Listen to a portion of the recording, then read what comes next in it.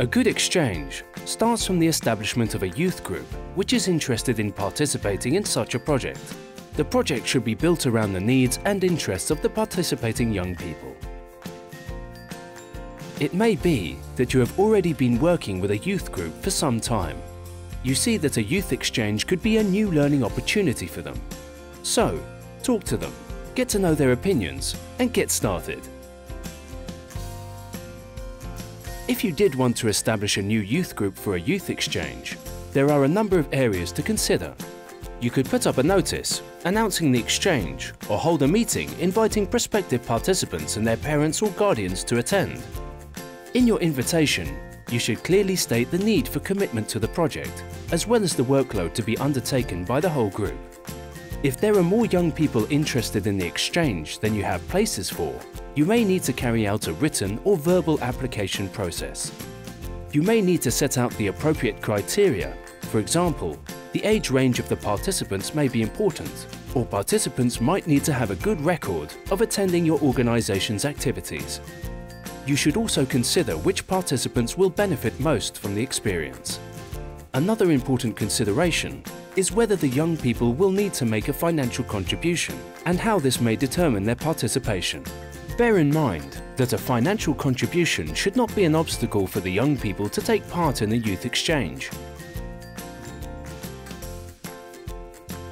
Once you have identified the young people who are interested in a youth exchange, this is a good time to agree a broad outline contract with the group, highlighting what they are buying into. Everything should be clearly stated, so that participants and leaders have a chance to change their minds about being involved. In order to ensure that everyone participates in all phases of the preparation and that individuals get the opportunity to develop new skills, many groups organise themselves into task groups.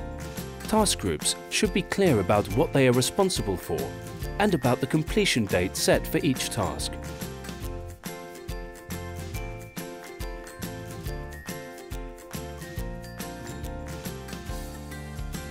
Throughout the planning stage, you should remember that there are times when a youth exchange project will move quickly and other times when it will be particularly slow. Consider how often the group should get together. Is this sufficient to carry out the planned preparation or will you need to meet more often?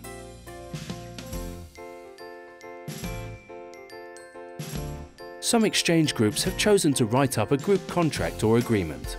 Such a document can make it very clear to the whole group what level of commitment is required.